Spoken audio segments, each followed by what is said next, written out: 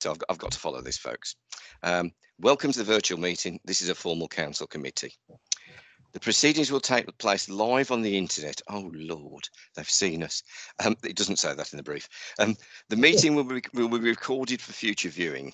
It will assist the conduct of business if participant, part, participants speak when invited. All participants should mute their microphones and turn off the video feed when they are not speaking. Apparently, I'm supposed to have my video feed on when I'm speaking. Didn't realise that. Um, members of the public, we haven't got any members of the public as far as I can see. Yep. All right. Um, so they're welcome to view the proceedings, but they don't. They can't make contributions at the meeting. Please remember to unmute your microphone and switch on your video phone video feed when it is your turn to speak. Speak clearly and slowly into your microphone. Um, actually, you can speak as you normally speak. Anyone wishing to speak should in indicate using the raise your hand button um, and I'll invite people to speak at the appropriate time. Um, Steve or Karen will help me with that. If, I, if there's lots of people suddenly stick their hands up, we'll get round to you because it does show on the screen as to who's put their hands up. But if we haven't got the hands up facility, we'll sort it. Don't worry. I've done a few of these anyway. Um, I ask for everyone's patience with the use of technology, and I apologise in advance if I make a right mess of it. Okay, and or if we experience any unforeseen difficulties. So now we've got the agenda item, but first thing I'd like to say is um, thank you all for coming. Um, and I really do hope that you and yours are all safe and well. Um, um I think um, it, it's just been a horrible time for so many people. Um, and if we were if we were at a meeting, I think we'd stand up and, and have a minute's silence. But actually, um, I don't, don't see the necessity for that at this time. Uh, I just think we should always bear in mind that we've got people out there who've died and people who've been very poorly, and a lot of people have done an awful lot of work um, to keep people as safe as possible. You know, and some people are giving their lives to do that. So just remember that as we go along. So first of all, have we got any apologies for absence? I know that I've got Jake as an apology for absence. Any more, um, Karen? No further apologies, Chair. Thank you. Uh, appointment of any substitute members? I don't know whether we have. Uh, no, Chair. Uh, thank you. Uh, declarations of interest and the members of Code of Conduct can't see that there would be any, but anybody want to say now or no, we're all right, are we? Okay. Excuse me. To confirm the minutes of the meeting on the 23rd of January 2020, um, does everybody agree that those minutes were a true record? Um, actually, say no if you think they weren't. Okay. So the true record. Um, you'd usually pass me that book and I'd sign things down, but I'm not going to do that. Um, right. Now we've got um, we've got a few things on the agenda. I did send out before the meeting, if people remember, um, some things that we, we would have. We've got the corporate quarterly performance report, which has been sent out to you. I also know that um, Karen and Jacqueline, who's new, a new officer who will introduce herself um, at some stage within this, um, have uh, come along to present something. So I think we're at the stage where um, Karen and Jacqueline uh, are going to make a verbal presentation. Is that right, Karen? Yes, Chair, that's right. Thank yep. you. Okay, so initially, um, I'm here obviously to present the quarter four performance report, which highlights the performance for the financial period 1st of April 19 to the 31st of March this year. Um, there are a total of 34 KPIs for the end of year report, 32 of which are reported on a quarterly basis and two of which we report on an annual basis. Of the 34 being reported tonight, we've got 18 that are on target and 11 that are below target. The remaining five are within tolerance. The 11 indicators below target are outlined in section two of the quarter four performance report on page six um, with a detailed account as to why they're below target, given on the separate briefing summary I produced. Each of the narratives against those PIs below target have been provided by the relevant officers who hold responsibility for those PIs. Um, Chair, I'm aware that obviously the narratives are there. I don't intend to go through each of those PIs unless there's any that you want me to go through specifically but I am aware that um, you made you focused you wanted to focus on two particular items, one being um, PI 2061, which is the one relating to the identifying and delivering of procurement savings. And I'm aware that Rose Younger, as the director of that service, is here to answer any questions on that one. And then the second one, as you've made reference to, was for Jackie Branch as the head of HR and OD to be here to um, give headline information on um, and by way of infographics on the COVID 19 situation and the challenges that's presented staff with. Um, and I'm also aware that Matt Williams has, has come along as well um, to give you a bit of a brief on the council's approach to returning to the workplace um, as we come out of COVID. So I'm not sure how you want to play that now, Chair, but um, obviously the relevant officers are here and happy to take any questions that you want at this stage. Right. Um, well, I think first of all, um, can we do the procurement first? Yeah. Does that make sense? Yep, that's, With Rose? that's fine. Do you, want, Right. do, you just want me to explain it, Chair? I, I- I think if you could explain um, why we've missed the target or missing the target, uh, and then we can open it up to questions. I do know that this was something that was brought up by uh, some of the members of the committee to to bring forward anyway. Okay. Thank you. Yeah. So th- there's a, there's a number of reasons um, uh, um, behind this. One of which is the contracting cycle, because clearly, if we're not letting any contracts, that we're not reporting um, any savings. That's one point. Um, secondly, there there is something about we, we overachieved in the previous quarter. Which is when a lot of contracts were let and underachieved in this quarter four primarily because of COVID. Now, I realise some people will say, well, we didn't enter lockdown until uh, the uh, two thirds of the way through March. However, um, we were very aware that there was a problem with the procurement uh, or the availability of PPE from the national stocks um, well before that. And so I gave an instruction to my uh, my procurement team, which is the kind of corporate procurement team, to cease all normal normal procurement activity and focus entirely on um, the procurement of PPE. Um, um, and that PPE was to supplement the stocks that were uh, coming or supposedly coming from the LRF, the Local Resilience Forum, um, but was going to support care homes um, in the main um, and domiciliary care workers uh, to start with, but also our staff. So a lot of work was done on that way back into into February actually. Um, and the third point is that when um, those of you uh, who've known me since I got here, um, when, when I was asked to set up a commercial and procurement department, um, uh, I've developed the uh, chief officer's um, uh, plan and developed some um, performance indicators. With the benefit of hindsight, this this particular performance indicator should probably be an annual one. So I think reporting it, it on a quarterly basis is probably not right because of what I said earlier about the contracting cycle. Um, so that's just a bit a bit of background. If you want more detailed information, obviously I'll I'll, I'll um, ask members of the committee to to let me know what they want, and I can give you a, you know a report with the actual detail that you're looking for. Over to you, Chair. Thank you. I just had to remember to unmute myself. Uh, not something that I'm used to, to be quite honest. Uh, right. Uh, anybody who'd like to raise any points, please?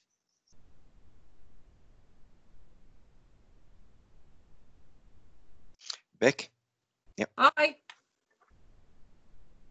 Yeah, hi Rose. Thanks ever such a lot um, for for that. Um, just in terms of that particular measure, I was just wondering whether now we're in a new sort of world in terms of um, you know going forward, we're going to need more resources uh, for the council, just in terms of you know just looking at PPE for example as one one key thing that we're definitely going to need more of going forward. I'm just wondering how viable that actual measure will be in itself, because, you know, if you're measuring last year to this year's um, purchase of resources, then you're never going to make, you're never going to look like you're making the savings. So that's my first point. And then the second point is, um, yeah, how, how we sort of looking to make savings? Are we looking to sort of lower standards on certain purchases or um, you know, because obviously if we're doing sort of um, contracts from the council's perspective, what we want to make sure is that people who are employed by the companies who do the contracts for us, they have good workers' rights, paid, um, certainly um, a living wage, that sort of thing. So I'm just wondering what are we sort of looking at to make the savings, please? Thanks. Chair, do you just want me to, to, to step in at this point? Yeah, take take one at a time. uh, Otherwise, it gets a bit too complicated. Okay, thank you. Um, um, um, Councillor Gentle, thank you. I mean, obviously it is a new world and the point that you make about PPE is a really good one. I, I think we're, we all know now that um, what we thought, what I thought was going to be a short-term um, crisis and us needing to get PPE for a period of three, six months, I think we all know now that that's going to be a significantly longer requirement um, of possibly 18 um, uh, months, maybe even more. Um, the uh, I, I, I'm still not getting any clarity from uh, the national um, reports about uh, I, of whether at some point in the future the government are going to step in on their white charger and supply PPE and I won't need to do it anymore, which would be lovely. Um, but um, I don't think that's going to happen. I think we will need to continue to procure PPE for the foreseeable future. What we've been doing to be able to um, manage uh, the work within the West Midlands is the West Midlands heads of procurement have formed a group. Um, and what we've done is we've each taken the lead for certain items. So from memory, Wolverhampton are leading on masks, uh, Birmingham are leading on gloves. We're leading on aprons and body bags, which I know is not really um, uh, PPE, but has been a requirement. Um, so we've been sharing out the workload um, between us. So uh, that group has now settled into a fairly um, uh, business as usual kind of approach that's no longer um, uh, crisis driven. Uh, because we're procuring across um, the West Midlands, we are able to also um, uh, uh, uh, um, she says hopefully get better prices, leverage better prices because of the greater volume. And at the beginning of the crisis, of course, it also meant that we could get stuff air freighted in with that kind of volume. So that's just a, a bit of background in into what what we've been doing. The point that you make about um, savings um, is also a, a, a good one because I think as some of you may know, there's been lots of government advice in the form of um, PPNs, procurement policy notes, and there's been, I think, four of them to date. And those policy notes were designed for councils, public bodies to continue to pay those suppliers who are identified as being at risk, um, in, in short, to, to support the economy um, and the and the payment of workers. Um, the latest uh, procurement policy note um, does ask um, contracting authorities, local authorities, to revisit um, their contracts and consider those which need uh, continue to be needed. So what that's about is about us saying in a um, post-crisis um, world, um, so as we go into BAU with COVID, um, will there be ch changes needed to be made to our contracts? Some of which may need to be varied and the requirement reduced or changed potentially and some of our contracts actually may need to be increased and so for example if you're thinking of um, uh, home to school transport, where it may be a taxi might have picked up two young people, that may now no longer be possible because of social distancing. Um, so I, th I, think we will need to completely revisit um, all of our contracts um, uh, in, in, in the next period. Um, and actually, you know, I think the savings element will need to to to wash out of that review work. Um, the the point that you make about employing local people, etc., apprenticeships, and so on and so forth, um, is what I describe as as social value criteria. And I think again we will need to revisit revisit that work. We already um, evaluate contracts and procurement on a number of things price, quality, and social value criteria. Um, and the percentages allocated to those change um, and are reviewed by our procurement management group um, and assessed by a procurement manage management group. Um, and sometimes it's appropriate to award more points to um, social value and and which I would include the local supply chain, local economy, etc. Um, and sometimes it isn't. And, and the price variance as well, um, given um, that sometimes uh, not always, but sometimes buying things locally might be more expensive. And then we need to understand what the value of giving it to a local company is again against um, a, a non-local company. And as an example, if you were buying an item for say 400 pounds from a local company um, and it was 350 from a, a non-local company, you you would um, uh, uh, you, you would argue that the local company is the better deal. If you then took that to 3,500 um, for a non-local company and 4,000 for a local company, that's probably a good deal. But if you're talking about 3.5 million as against 4 million, then that might be the time when you say actually the difference in cost means that we've we've got to look at the uh, the non-local supplier. And and it is never as black and white as that and beck. It is always far more complex than that. But um the, there's a, a, a, kind of value um localism um uh,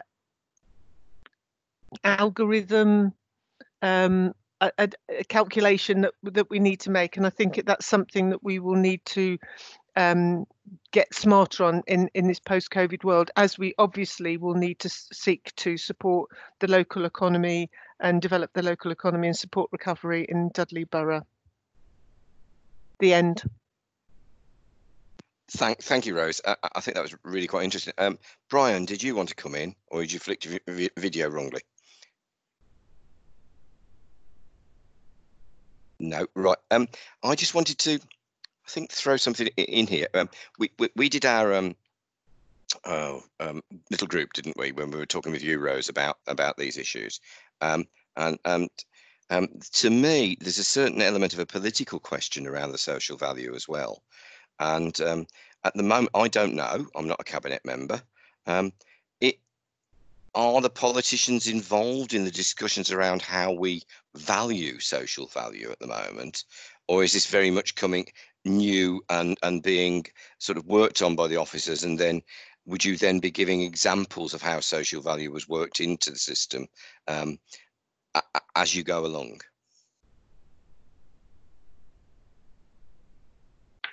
Um, thank you chair. Um, I mean, clearly there is uh, uh um, uh, th this law that sits behind social value, that, um, uh, which is uh, the uh, Social Value Act 2012, I believe, if, if I'm correct.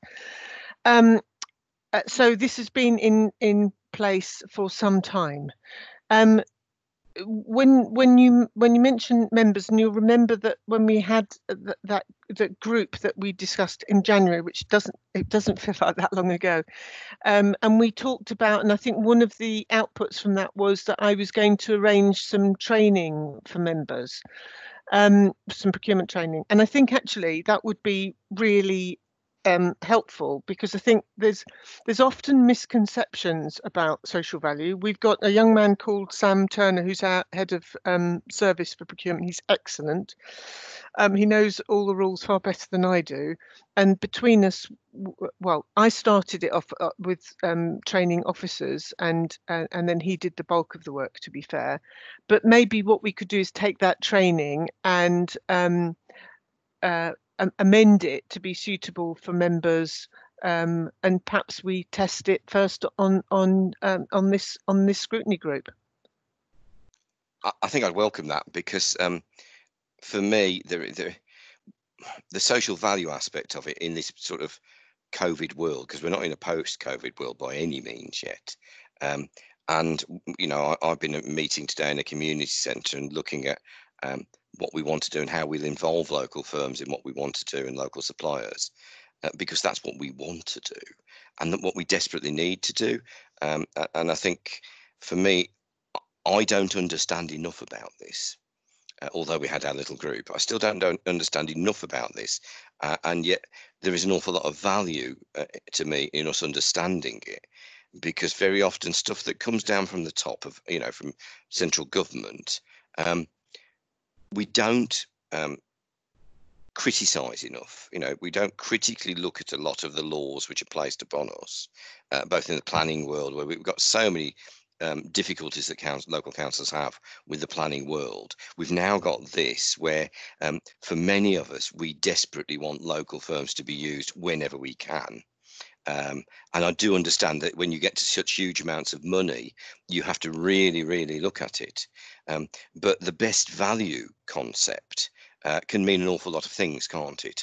You know, if that best value is the fact that in a in an area of of Dudley, which has high unemployment rates, we can provide a, a small level of employment by procuring locally, then that value is huge because it has that knock-on value throughout, doesn't it? That may not be measured by the social value. So I, I would definitely welcome this committee learning more about that. Um, Brian, did you want to come in? You'd have to switch off your mute button.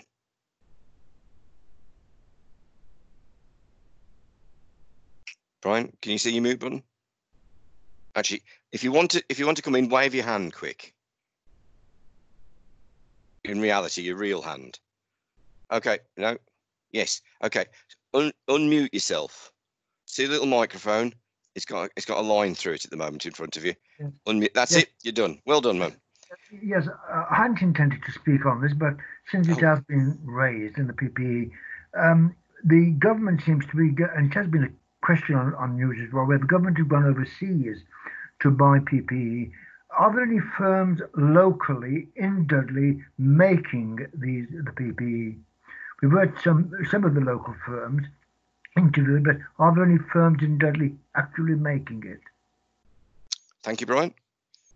Yeah, yes, there are. Um, uh, Thomas Dudley have been making um, visors, both for ourselves and for CCG and the, and the local NHS. So that's one that I can reel off the top of my head because I've been having conversations with them.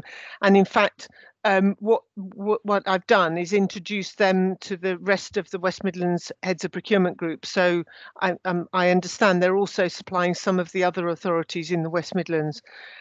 Uh, more than that, I couldn't give you off the top of my head, but I can um, and I can have a look if you like.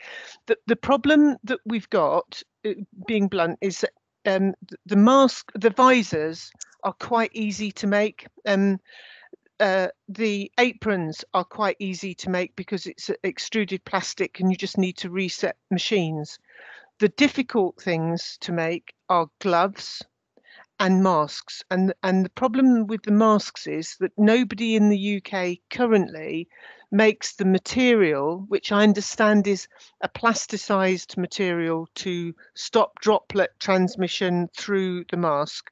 Nobody makes that in the UK in, in, my understanding is the only manufacturer is in the Far East. Um, I, what I do know is that the Scottish government are pump priming um, a, uh, a, manufacturer of that um, material. And I've been in discussion with Corin Crane um, of the Black Country Chamber of Commerce to see what we could do to develop a supply chain. And the idea that I had that I discussed with him was that um, I used to run companies, so I always think about what's what's the unique selling point. And for me, the unique selling point it would be um, us developing a local supply chain for either for sustainable PP, recyclable or reusable, um, because that would have not just national uh, market but global market. So Corin's gone away to to um, investigate that with um, an innovation group called Entrus in I think they're in Wolverhampton, based in Wolverhampton University. So that probably doesn't answer your question exactly, Councillor Cotterill, but hopefully um, that helps. Thanks, Rose. Um, I've got um, Simon. You've got your hand up. Um, Brian, can you switch your video off now and you and your um, and take your hand down, please. Simon? Hello. Uh, Thanks, everybody. Um, thanks, Chair. Um, it's just to uh, quickly mention something on um, the social value comment and about getting local businesses involved. Um, obviously, there was the the um, the scrutiny uh, committee working group that um, worked with Rose and the recommendations being taken forward on local businesses. But even before that as well, we were thinking about the best ways of trying to make sure that we could get out to local businesses to give that added social value in the procurement process. Um, one of the administration's priorities was to make sure that our procurement policies were reformed to make it much much more easier for local businesses to be able to get through the bidding process and that whole regime has now changed and you know, particularly on the lower value contracts um, it's much easier for, for businesses to be able to deal with us than what it was previously when they were trying to bid for work from from Dudley Council. Um, of course, the next stage of that is all the things that the scrutiny committee that was contributing towards, which is making sure that they just know that they're, the opportunities are there and getting that out to local businesses. So that's something that definitely is work in progress and continues on. Um, and then the other thing is specifically on social value itself and the way that it's sort of like it makes up um, the procurement uh, tenders and, and, our evaluation of, of each person that's tendered for a deal. So uh, essentially, the social value will have a percentage ascribed to it, um, and businesses that can prove that they can invest in the local um, area, invest in specific areas if it's possible as well, and provide um, jobs, apprenticeships, and investment into the Dudley Borough in in places that is good for our um, good for our economy. That will all give businesses the um, added benefit of scoring more higher on the social value parts of those contracts, and a lot of that is much more governed by I think national rules um, and, and laws and things that are set, which is certainly something that I think the scrutiny committee could have a look at. Um, and I'd be interested to actually able to, to learn more about that and and the things that are set by government and the things that are set by Dudley Council as well.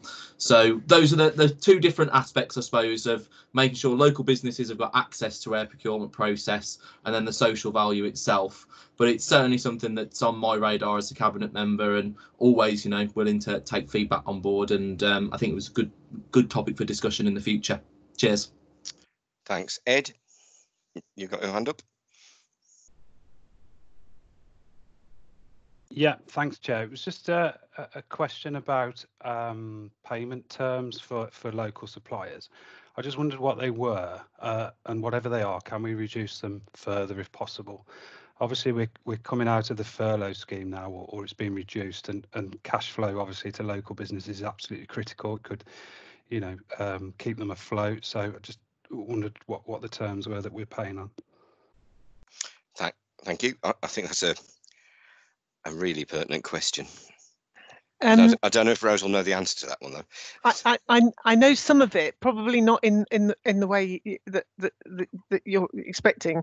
When I got here, one of the things that I've done in other authorities is in, involved a, a, a, company that have helped us to pay local suppliers um, more more quickly. Um, and for that you get they they they negotiate a discount with the suppliers. Um, and when i tried to do that here i was told um, well we already pay our suppliers in 10 days. And so i wasn't able to actually in, even introduce that thinking here. So my understanding is that we pay if the invoice is correct um, and reflects the purchase order properly that we pay in 10 days uh, from from point of invoice. So um, I, I can get the exact information for you if you like from finance but that's what that's the information that i know. Well and being honest if that's the case then i think that's great.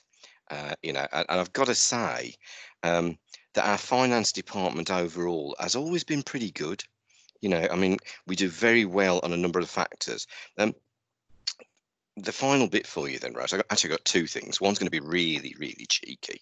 Um, we've had a meeting in our local community centre today about um, providing meals for kids uh, over the summer break, and um, a, a, young lady, Bri- Brioni from um, the uh, public health side, is going to be getting in touch with you or Sam actually to see one whether they can get some litre bags of um, uh, gunk, you know, the um, what's it called, the sanitizing stuff. Uh, and apparently Sam can get those because uh, they're 70 quid to buy a bag. but you can get refills for them. Uh, and the other thing is to see whether we can get some um, plastic um, gowns for people so we can actually get this food done. So I will be grabbing all of you at some stage for that very cheekily. Um, but the other thing is this actually this PI was to identify and de deliver procurement savings. And that was something that was, we had a bit of an argument, I thought, let's put it like that, at the council tax um, way back. It would have been last year now. Um, the two political parties, uh, and it was a bit of a humdinger that we had. I think it was last year or the year before. And and really, I thought that this PI was there originally because we developed um, a new uh, part of, of the, the, council to look specifically at the way we procure things and see whether we can develop savings from them. I've deliberately allowed tonight to be focused on the current situation of COVID because I think that's where we should be looking. But I think at some stage it'd be worth coming back to this in a future meeting to see um, how you've used new practices to see whether we can we can actually deliver better value uh, obviously taking into account the social value side of it but to deliver that better value that we hoped well that was hoped to be got out of that budget round if you get what i mean um, in other words to see are you getting the biggest bang for the buck that you can out of this. But just at this moment, I do want everybody to be able to concentrate on, on the task at hand. So I'd like to thank you um, for input into this. Um, and um, for me, I, I, I, actually can't see where else we'd bring this item of business to any other committee.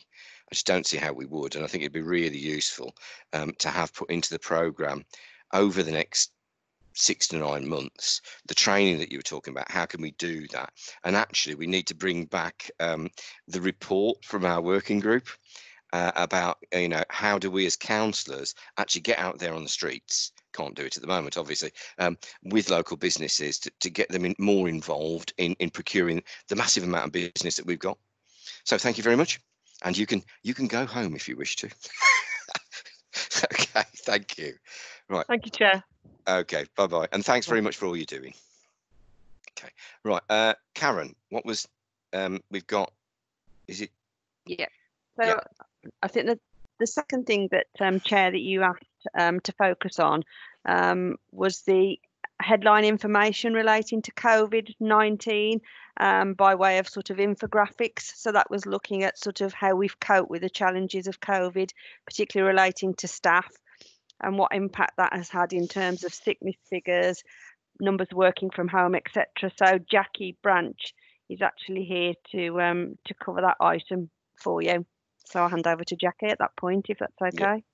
And if Jackie, if you could give, because it's the first time you've been in this committee, and, and I didn't, I did, you know what I'm like. People will know around this table that I have a great deal of difficulty in recognising people uh, uh, until I've seen them about 20 times and remembering their names is very difficult. Uh, Kevin particularly will understand that.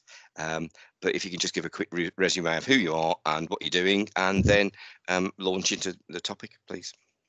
Thank you, Chair. I do uh, indeed, Chair.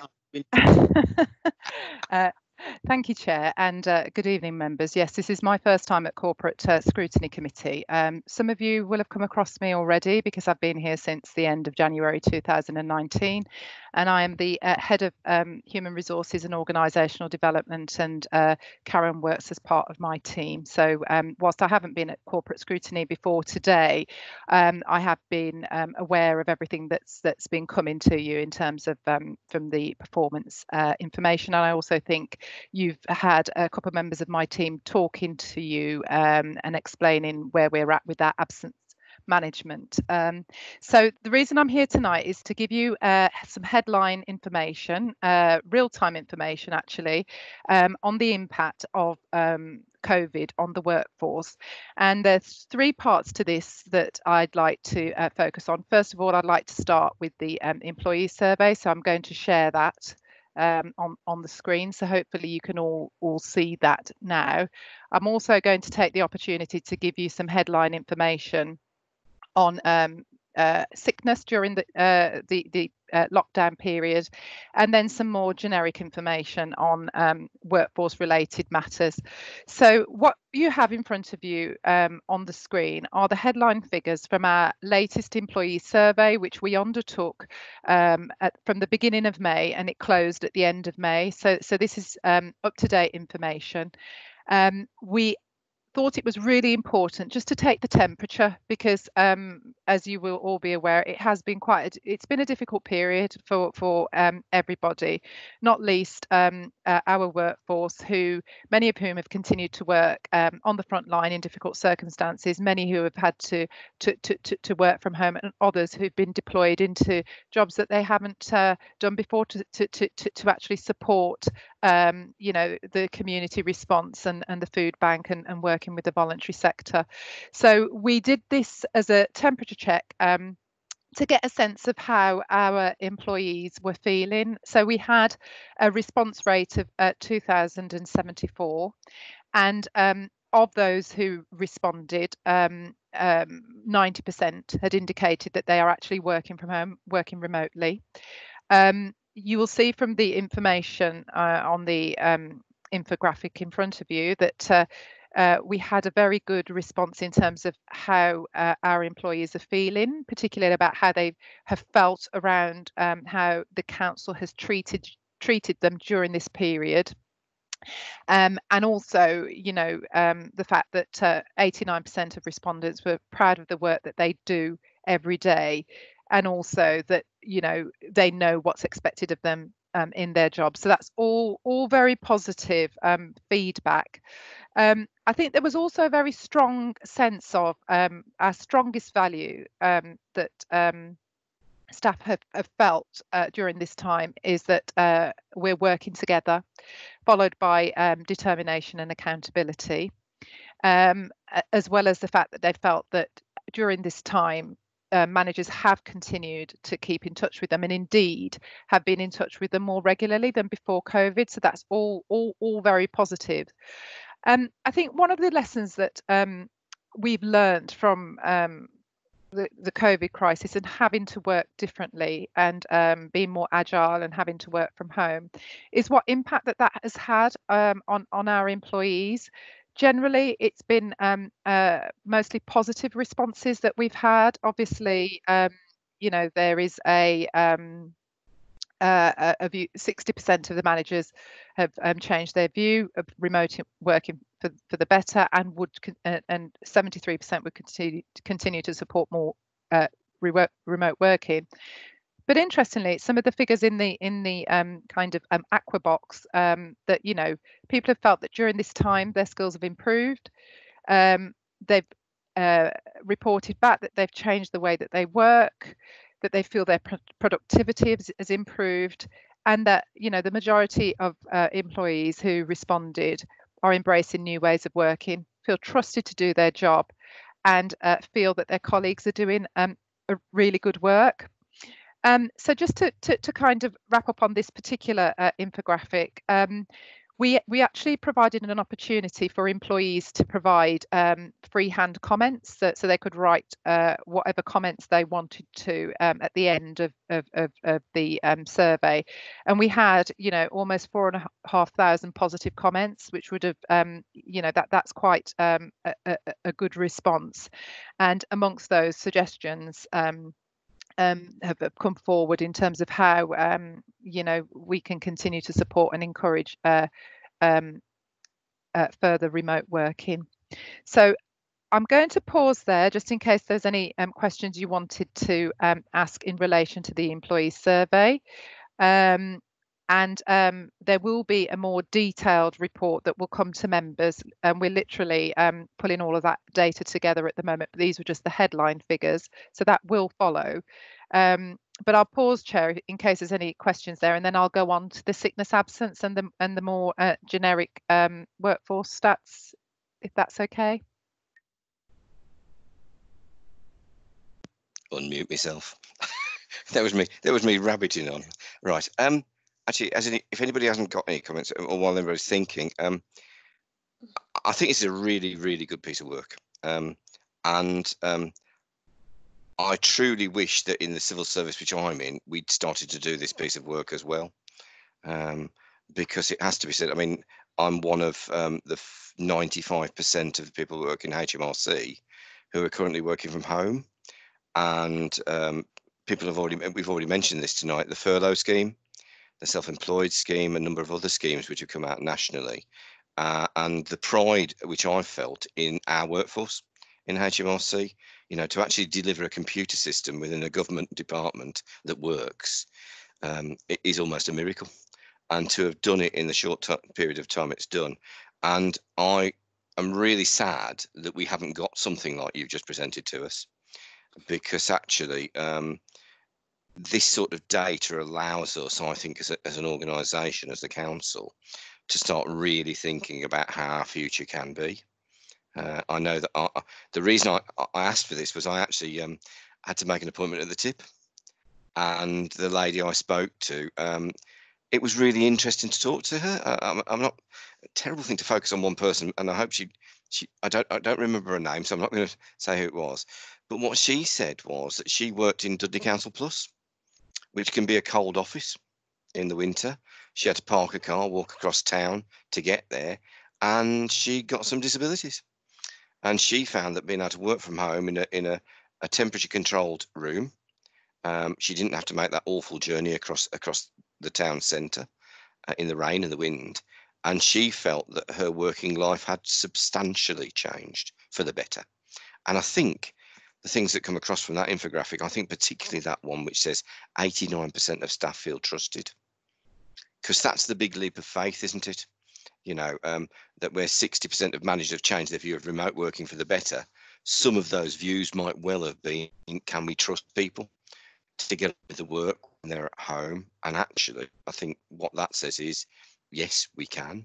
So, you know, I think I, I really think it's um, a great piece of work and something, there's obviously a lot more behind that, as, you, as you've said, there's going to be another report. Um, and it'd be interesting to hear what um, Kevin feels of this. But um, Peter, you wanted to uh, come in.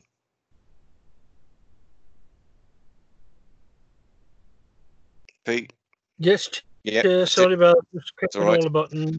Yeah, what concerns me a little bit about the uh, remote working is it not a little bit like um, ordering online? I know it's nothing to do with that, but like ordering online and this the town started fade away. You know what I mean? Like that sort of a situation where you don't need the council house anymore. You'd all be working from home.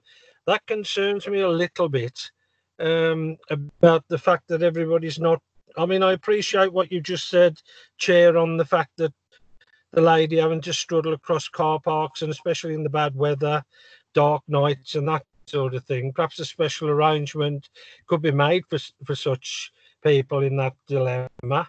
But it just worries me about this working from home. I mean, I particularly don't like these sort of meetings because you've you've not got the um, you know the camaraderie sort of effect of you really that worries me a little bit um, but it, has got to be done at the moment obviously the situation we're in but uh, yeah that was that's all that was my comment chair really thank you chris uh, and we'll, we'll, come back to that, uh, Peter. Thank you. I think it's a very valid comment. Chris? Yeah, um, really part of what Peter was saying there, and, and just, just a general comment on what's happening. I've, I've got a, a, lot of time for um, remote working. Uh, although working from home on a, a, long-term basis, there clearly can be issues of isolation, and, and I know that because I've been doing it for a very long time. Uh, however, uh, going going back to you know, maybe not working from home, but going to a place of work, uh, it seems to me that this is an opportunity to, as that be becomes to happen, uh, you know, go into a nearby building to work rather than all, you know, I don't know, going to the, the harbour building because that department works there.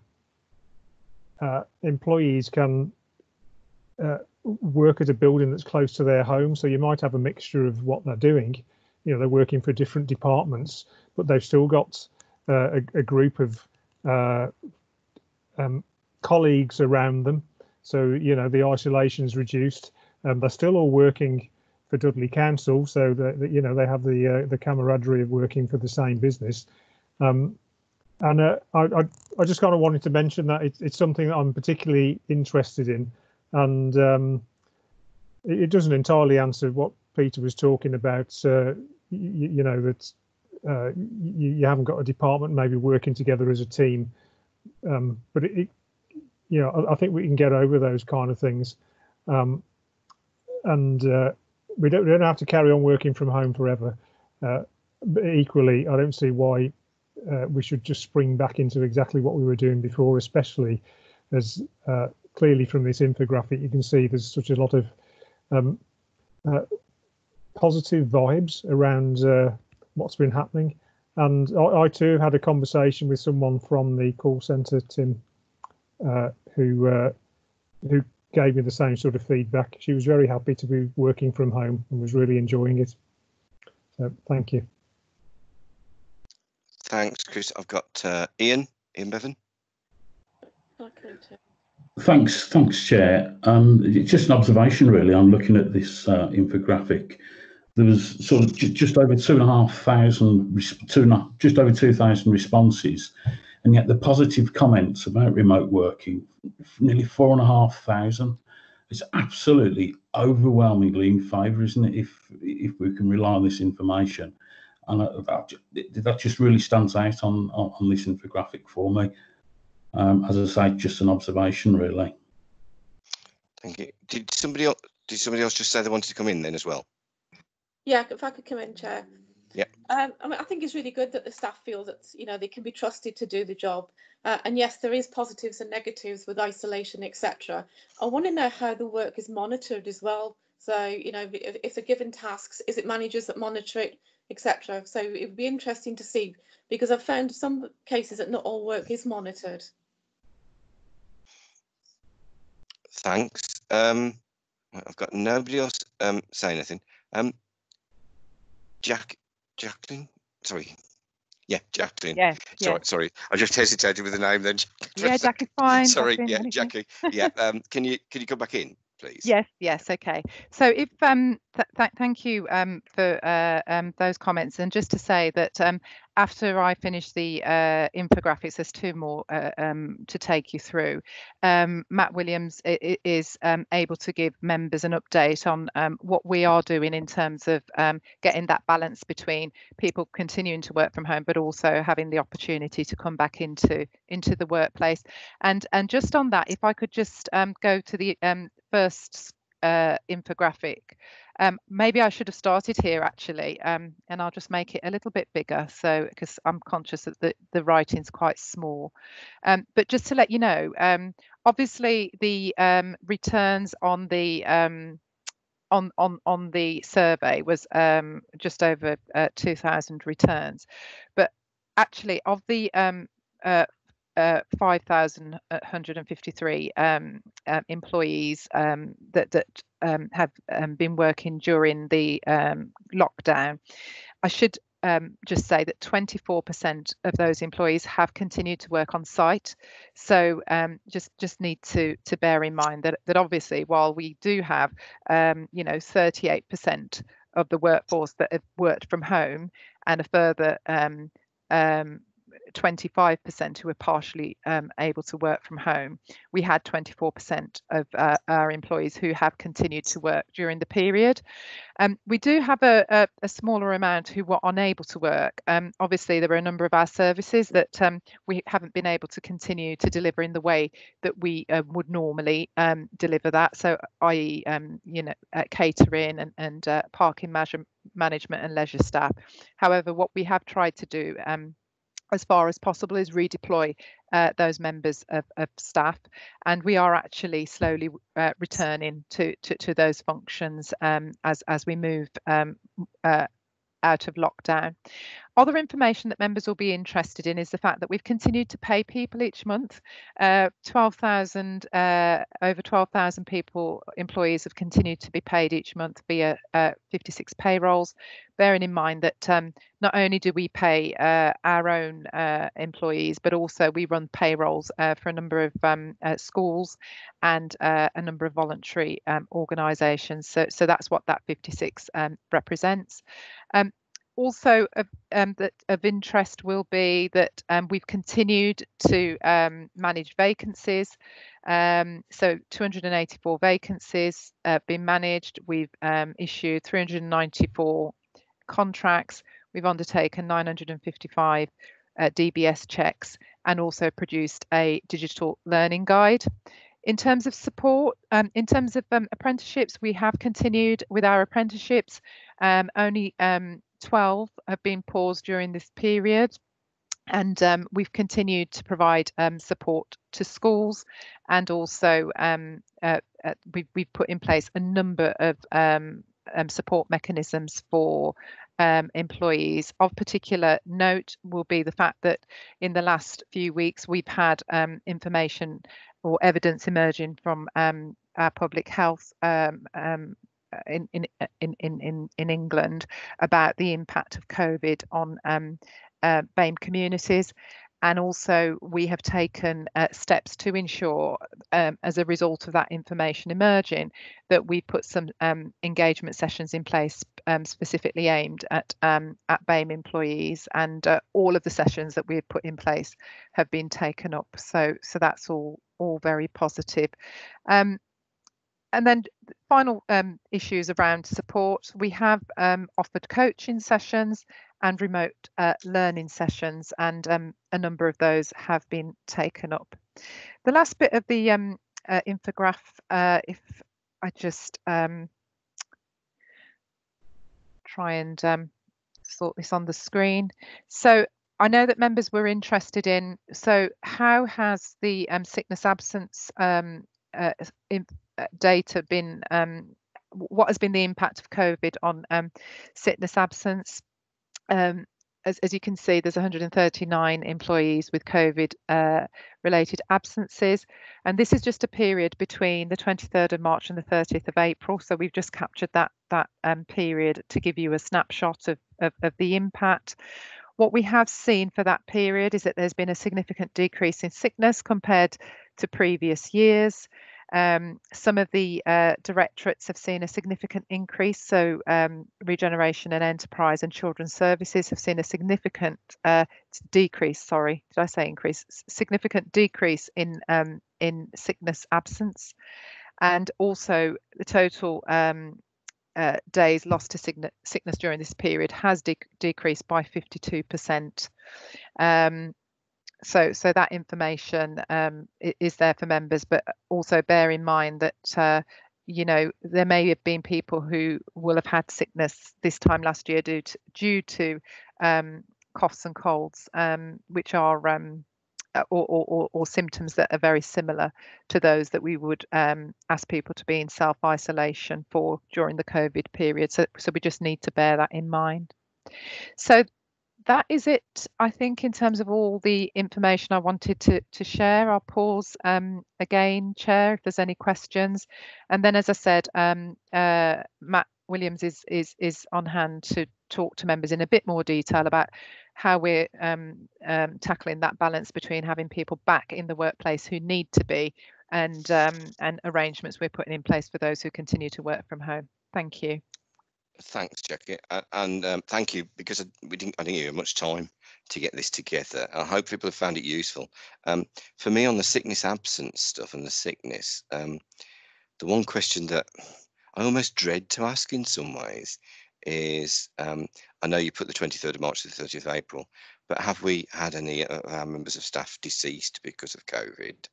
Um, because I, I haven't seen anything that, that has advised of that. So that's the one point I'd make. Um, the other thing is that I wonder if some of the decrease, particularly, I mean, I, I can pick up children's services I had a lot to do with that in, in my past uh, within the council.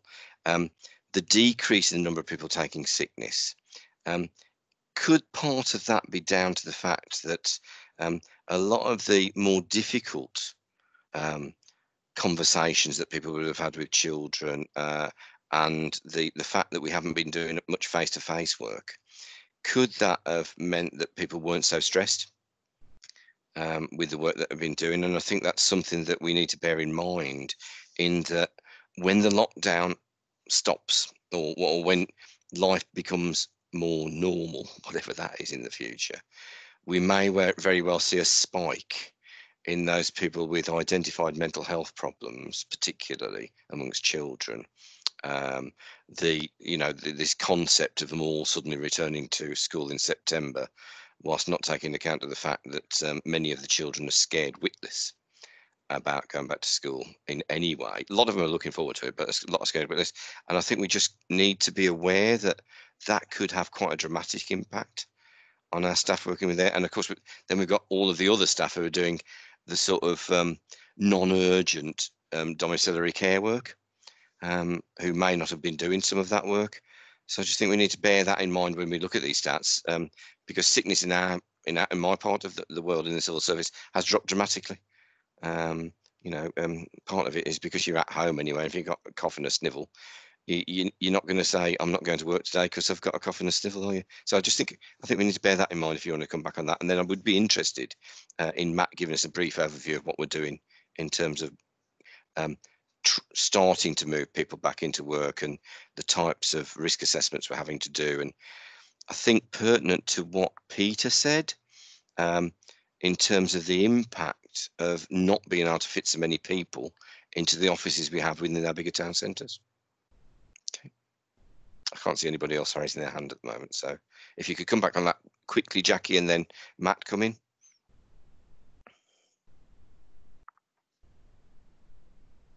Un, un, unmute.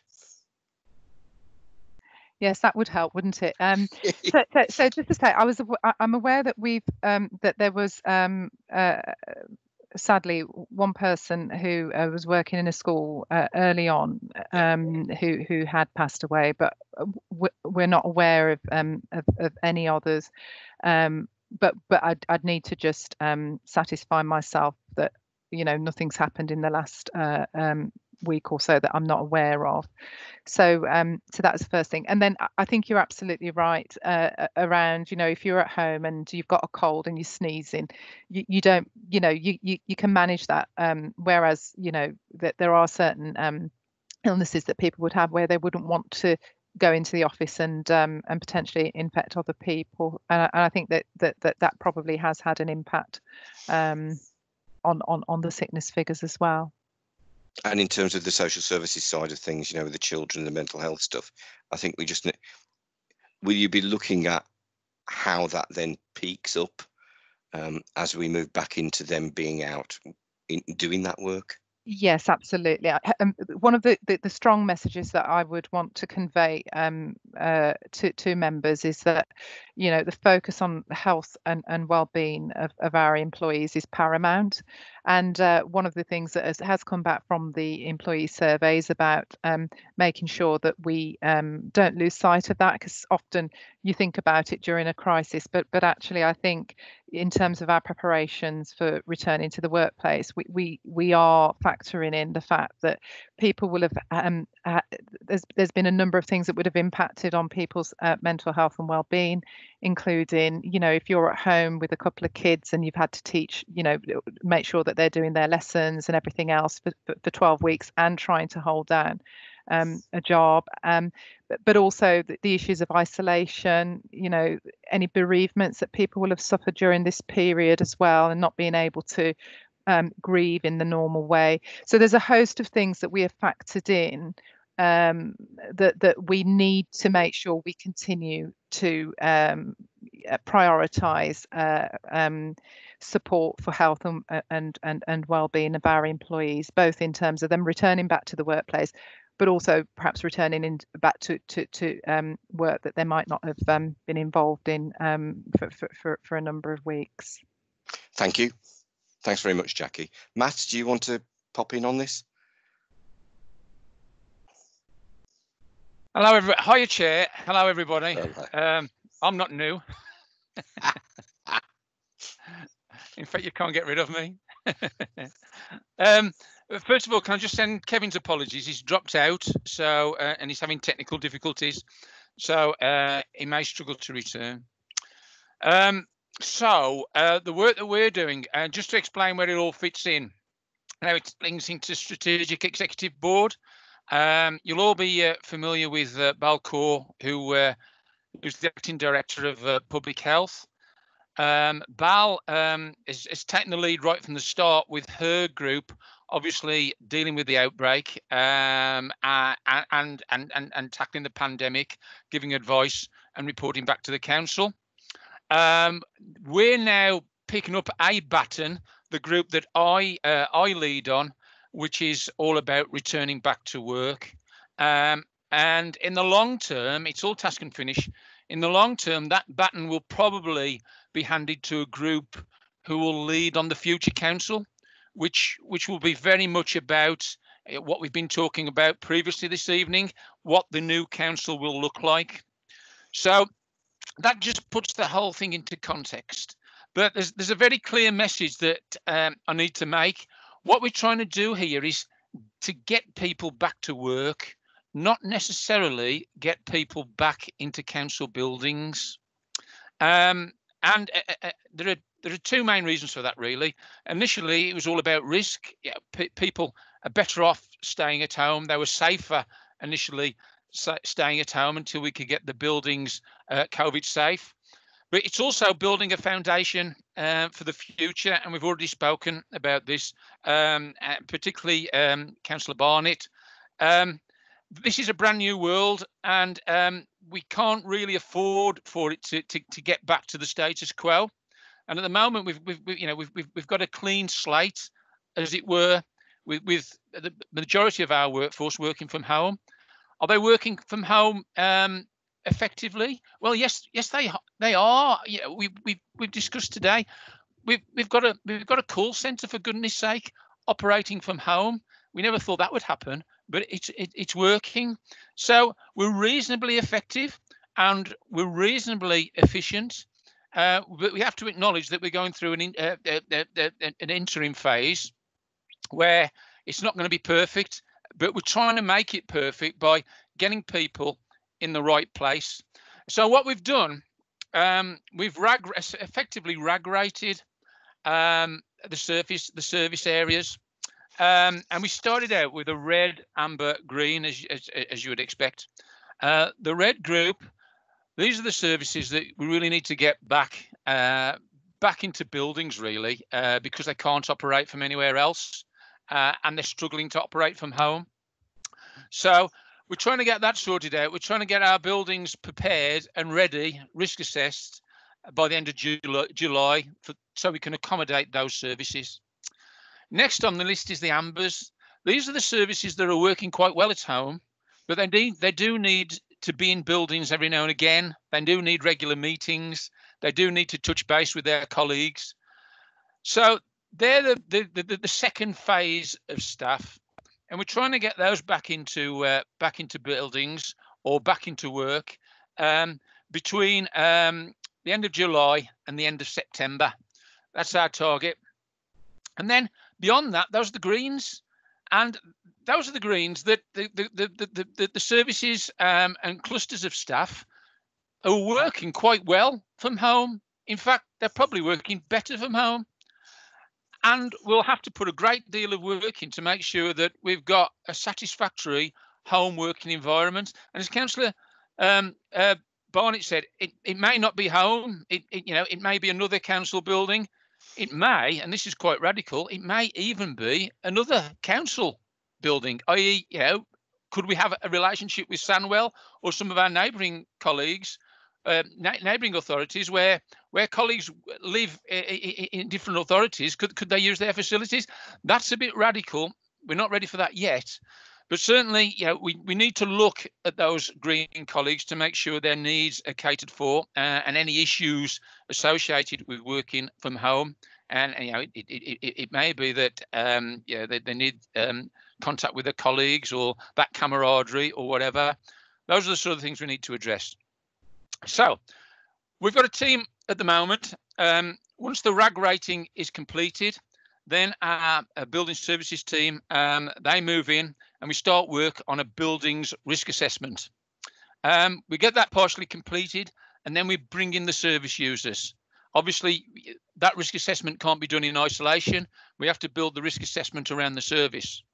Finally, and again, through management teams, local management teams, we work out if there are any vulnerable groups or vulnerable staff where we have to do uh, a personal risk assessment. That may be a shielded group or or or or, or, or a BAME group where there are particular issues in relation to COVID um, that we have to take into account. So once we've got all those risk assessments done, we then start uh, work on transforming the workplace. And again, a lot of that work is going on at the moment. And that is to make the workplace COVID safe. So a lot of um, a lot of work in relation to um, uh, social distancing to make sure we are work still working to a two meter rule because that is yeah that we know that is safe. Uh, but we also know in, in places that may, be slightly compromised.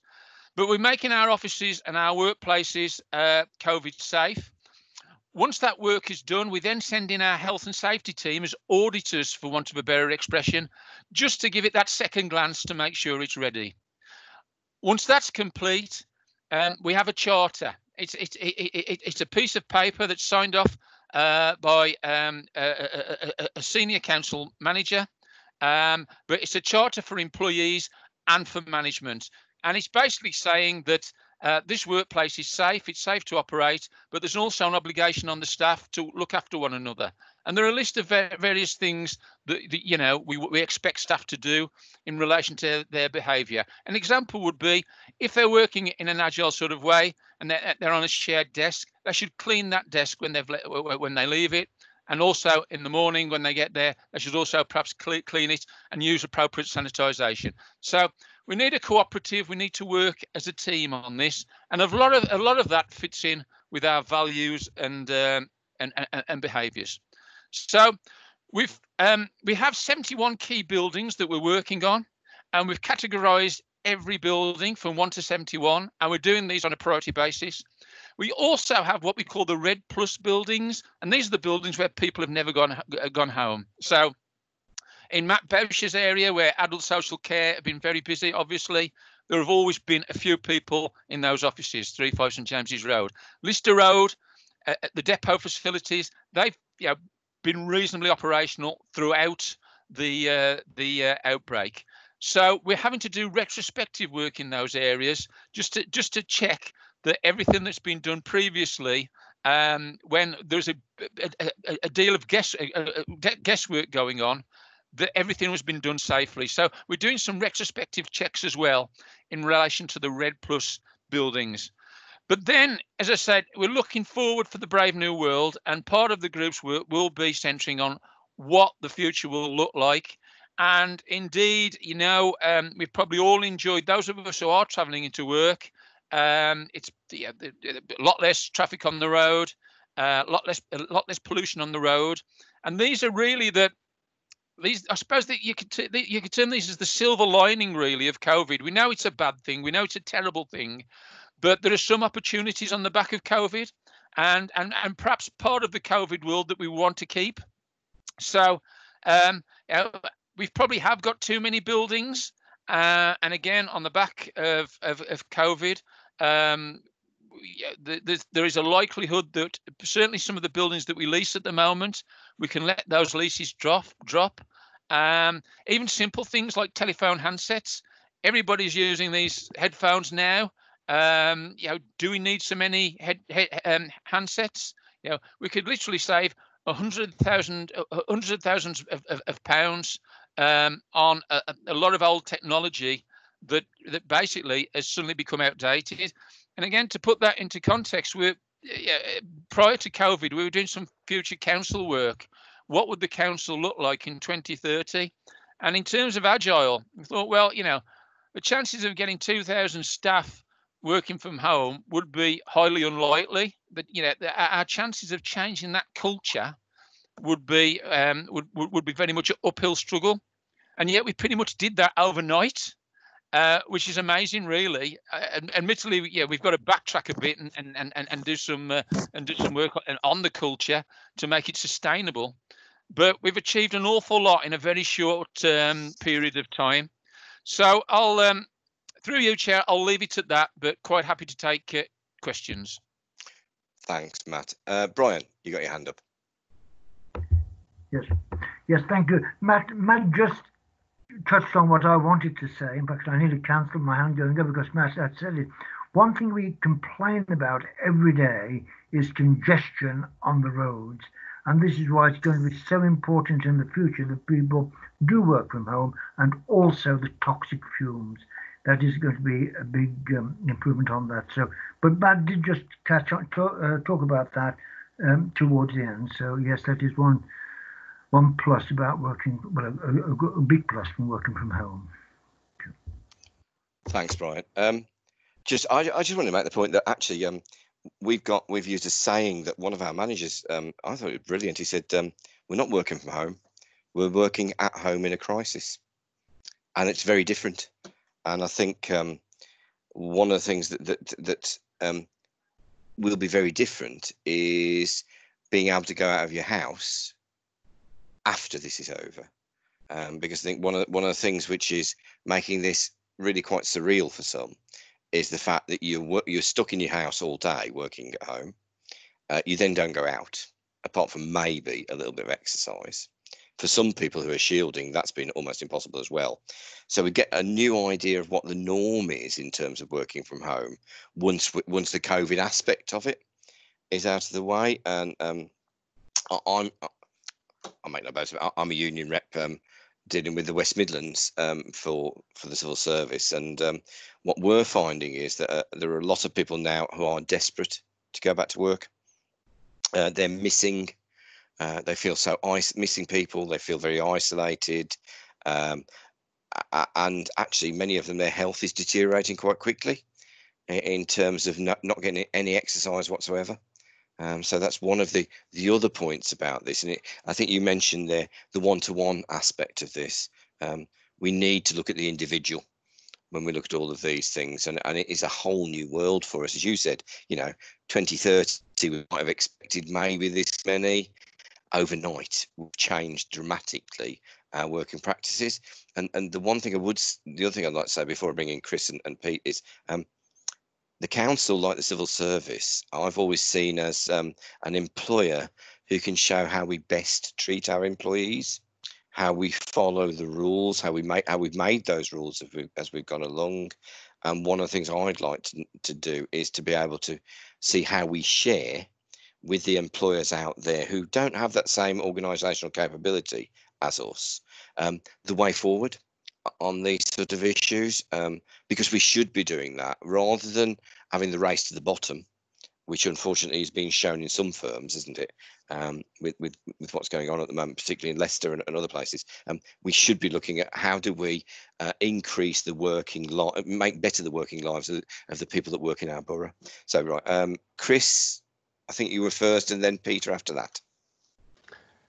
Thanks, Chair. Um, yeah, just to pick up on two things there.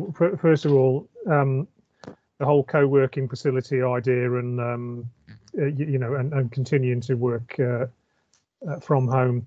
The, the opportunity there, of course, uh, is uh, well. There's, there's, more opportunity for Dudley Council for employing people who are further afield and maybe you know they're too far afield to to come in. So there's more talent available and also, there's a whole raft of people who currently their, their disabilities prevent them from attending an office.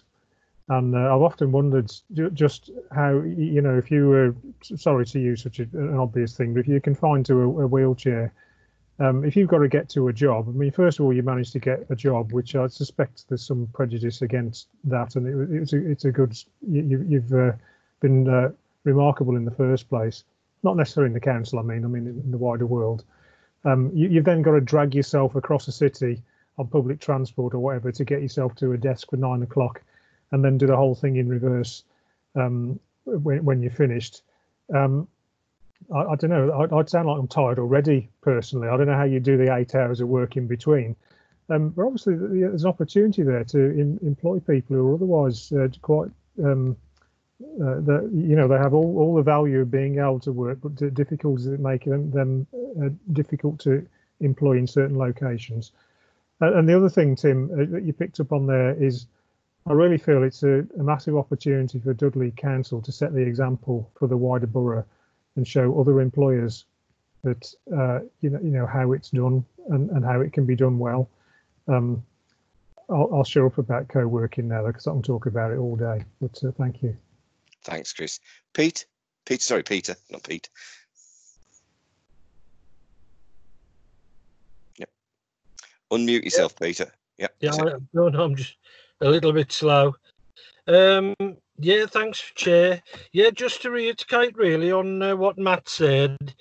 Um, yeah, it, it, it, it is great for a lot of people, I believe, to work from home. You know, I, I think it's a great idea, but I'm just a little bit concerned if a vast majority of people were told to work from home or chose to work from home, that it may be a little bit like our high streets, towns, and that it become a little bit ghost towny, and that worries me because it doesn't always work, does it? This, uh, I mean, a lot of people are on are online buying now, so the the small shops are closing down.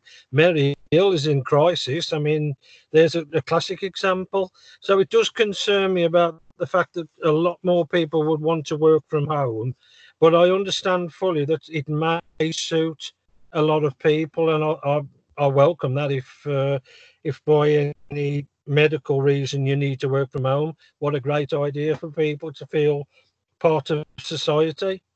You know, to be able to do that. So that was just it, really. And and yes, I think you have to look at the traffic, don't you, as well? I mean, I'm a builder. I've got a small building company, and uh, traveling on the roads is a delight now because everybody's either furloughed or the kids are not at school so it's a brilliant thing to be able to get on the roads and toot around and not to be held up uh, and at that point then it becomes a nightmare for me being a builder trying to get materials from a yard that doesn't want to let you in the yard and they're all standing there go back home with the masks on um, but there you go. That's life. So thanks, Chair, for that. That was all I wanted to say. Thanks, Ed. Thank and then I'll bring Matt back in. Yeah. yeah, thanks, Chair. I just wanted to ask Matt if, if any extra resource had been put into IT. Obviously, all this working from home is is is fun, IT fundamental, isn't it? Um, and also, how is this going to affect? You know, we talked I think it's about 12 months ago about digital transformation. It, it's expedited it, hasn't it? But obviously that's going to cost a lot of money. Um, and, and whether it be worth having some input from IT at, at future meetings. And oh man, up I work in IT in the daytime, so uh, you know I think they're the unsung heroes in all this. Thanks, Ed. And uh, just before you come in, Matt, I, have got to say, um, yeah, the way that we've managed to get our systems to work and work so well, it's been really quite a surprise, hasn't it? And and and must mean that our IT specialists have actually pulled pulled pulled it off this time, haven't they? So yeah, Matt, sorry. Yeah. Yeah, thank you very much, uh, Chair. I, would like to echo that. Um, our ICT uh, team have been fantastic. There, there were some bits of um, software um, to enable us to work from home that they introduced very, very quickly. Uh, but as a council, uh, we're, we're quite a way down the agile uh, working program anyway. So luckily, a lot of staff had already got laptops. But off the top of my head, I think we, we got hold of at least an extra 250 laptops within a matter of weeks. So that plugged quite a big gap. Um, uh, and yet it has cost money, uh, but the um, the government have recognised uh, that, and uh, we've got additional funding uh, whether it's enough, uh, enough or not, you know, I, I, I, can't be the judge of that. But certainly, um, we've spent a lot on the COVID crisis on many things, and ICT is but one of them. Uh, but it's it's definitely the future. I know that sounds a bit twee, um, but without um, without the infrastructure we've got, we couldn't be doing what we're doing. And I come back to the fact that we have got a call center working from home. And, you know, who'd have thought we could have done that six months ago? but we've done it. But it's just a start. I think we recognise that our customers, the people that we serve, a, a, a, great deal of them will not be IT savvy. So we, we, we really need to work back to make sure that people can uh, not only get in touch with us, but um, get access to council services. Um, you know, we, we, we, we, we can't afford to get too far ahead. We need to take everybody with us on this on this revolution, for want of a better expression. But it's it's definitely the way to go, and it's it's the foundation of everything that we're doing at the moment. So, you know, I, I think Councillor Lawrence has made a very good point. All right.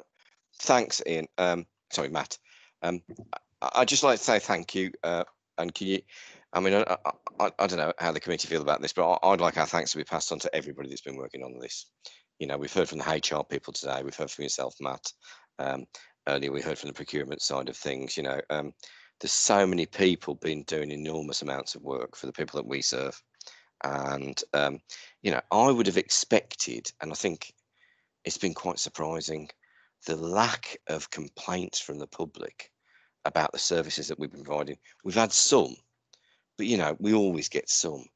But to some extent, I would have expected it to have peaked, and actually, it hasn't. Um, things like, you know, I, I, went to the tip, it worked. You know, I, I, could get there, I could, I could do the things I needed to. It wasn't too difficult to do. So I, I really think we, uh, from from the committee um, overall, we should be thanking the staff that work for us uh, uh, and for all the work they've done. So thanks, Matt. Um, really good, interesting report.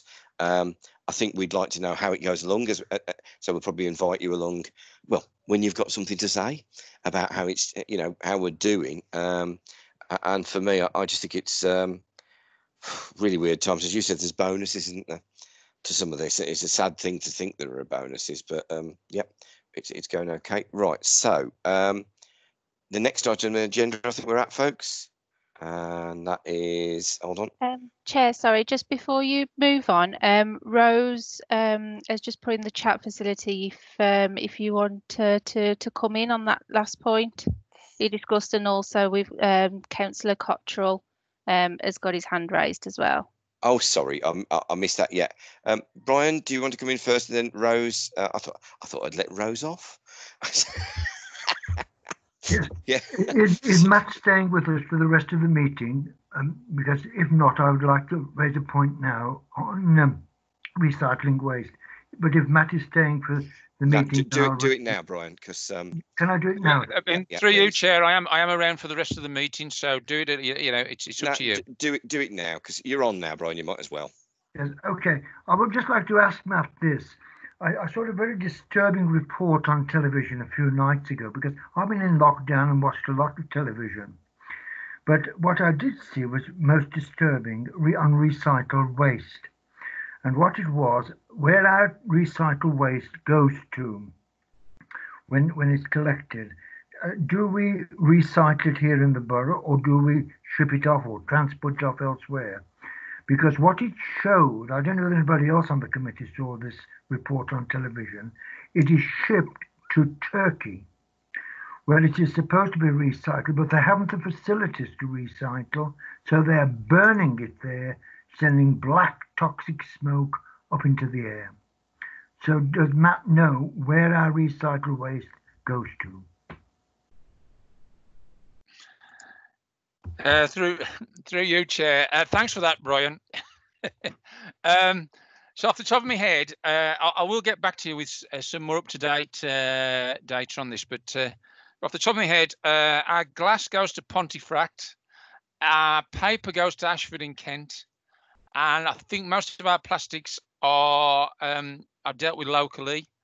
last year, we did send some of our recyclate to Belgium uh, as part of a contract. That's that's our only venture outside the uh, the UK, and and that that that that that, that we went to a you know a, a bona fide, very good recycling facility that was purely done on cost. Um, I believe now uh, with our latest contract, everything's back in the UK, but certainly we've never been to Turkey.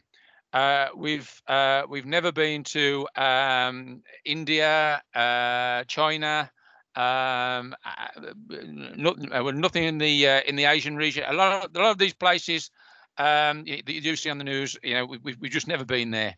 The um, yeah, we, we we've never ventured outside the EU, and we only did that once, and that was really um, more about price than anything else. So, um, but and it was you know, a, a, you know a reputable um, uh, recycling company that had good working practice in line with European legislation.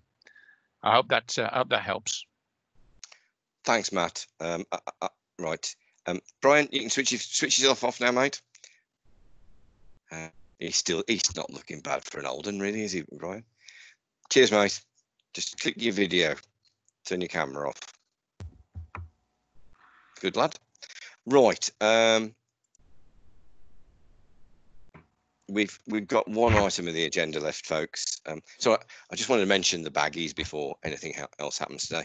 Um, they're on in 20, 15 minutes, I think. So I was hoping to get this done by then. So uh, I hope we still do. It's ought to be me that shuts up then.